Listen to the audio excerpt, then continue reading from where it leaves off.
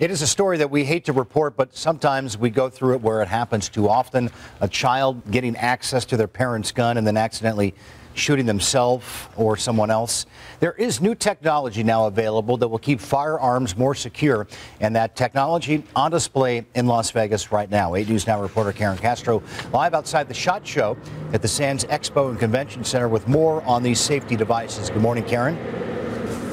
Kel, good morning. Well, the key here is safety and, of course, keeping guns secure. And there are several products at this year's SHOT Show that will do just that. Now, many gun safes are locked by keys or a code. And while this is still an effective way to keep a gun out of the hands of the wrong person, they can still get a hold of the keys and open it or just break the code. So now there's a biometric safe. It can only be opened by a fingerprint. Now, this particular safe can program up to 15 fingerprints.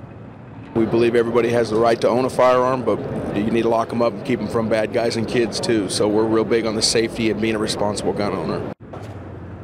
Now, a save can be a little more expensive, so if you're looking for something more affordable, sometimes free, there's a gun lock. It looks and works a lot like a lock you put on your bicycle. Now, it's really practical. You slide it in through the action, which is where the bullet's going through, and it comes out the other end of the gun, and then you just lock it. Now, according to Bill Romanelli with Project Child Safe, being a responsible gun owner can often be a matter of life and death. Well, the fact of the matter is, it's the best way to prevent accidents in the home. A lot of people own firearms. It's a right we all have, uh, but with that right comes a responsibility. And if you're going to own a firearm, then we suggest that you respect it and secure it when it's not in use.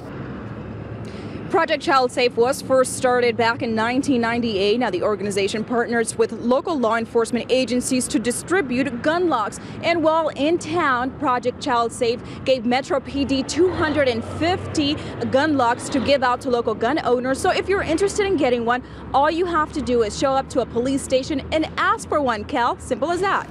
It is very easy to do. Karen, thanks.